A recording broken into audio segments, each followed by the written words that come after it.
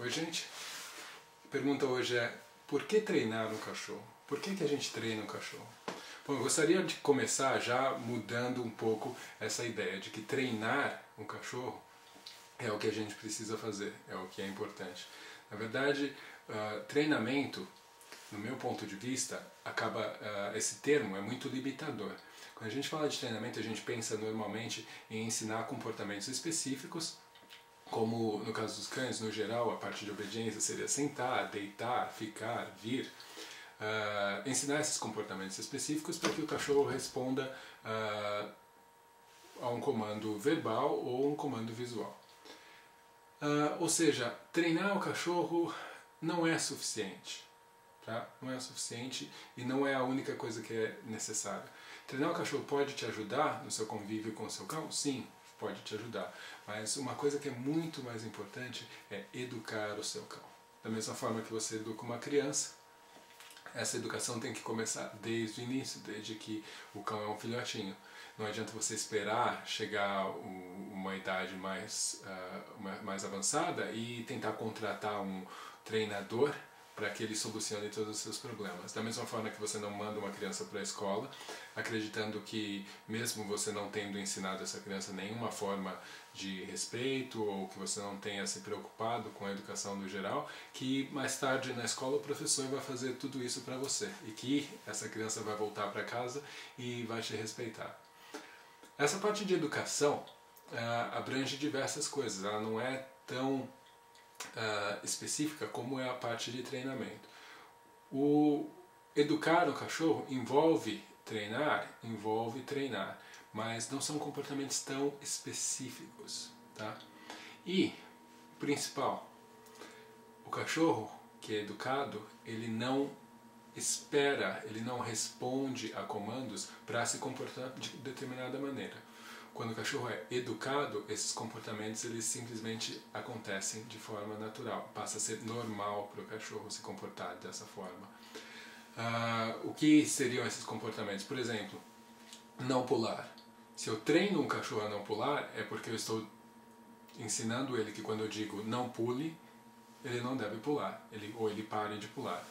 Mas o cão que é educado a não pular, ele simplesmente vai reconhecer que isso não faz parte do comportamento social aceitável. Outra coisa que faz parte do educar um cachorro, que a maioria das pessoas se preocupa muito em fazer, é ensinar que o cão, com que o cão só faça suas necessidades num determinado local. E isso é uma coisa que todo mundo faz, todo mundo se preocupa, se aplica muito a fazer, a, a, ensinar desde o início, quando o cachorro chega em casa, porque é uma coisa que incomoda muito. Mesmo não sendo uma coisa natural para o cachorro fazer xixi sempre num lugar específico, as pessoas se comprometem a ensinar e fazer com que aquilo pelo menos funcione. O segredo aqui está em perceber que não só esse tipo de comportamento tem que ser ensinado, não só isso tem que fazer parte da educação do cachorro. Tá? Todos os comportamentos do convívio social dentro desse grupo que o cão vive são importantes são parte e responsabilidade nesse processo de educação.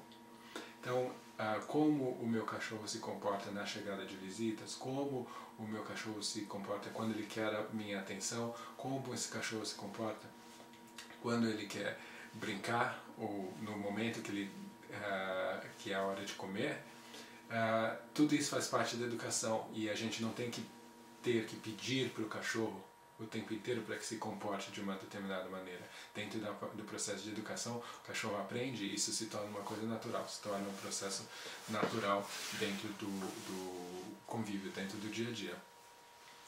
Uh, ou seja, esse, o treinamento e a educação canina, a propósito, vamos tentar utilizar o termo educação uh, de forma mais consistente eu vou passar a chamar, em vez de treinador de cães, educador de cães, que eu acho que é um termo que abrange mais e, e nesse caso seria mais correto. Uh, a educação do cão é essencial da mesma forma que é importante para a pessoa aprender determinados comportamentos para que a sua vida dentro da sociedade seja facilitada. Tá? Uh, facilitando a vida do cachorro, ou seja, ensinando esses comportamentos que vão fazer do cachorro um, um animal mais aceito dentro da sociedade, você também vai fazer o quê? Vai fazer, aumentar o nível de confiança desse, desse animal, vai aumentar as possibilidades de, de, de atividade que esse cachorro vai poder ser incluído e, consequentemente, vai ter uma vida mais saudável, certo? Uh, essa é a minha opinião do porquê que a gente tem que treinar cachorro. Uh, quem quiser mande comentários e a gente se vê na próxima vez.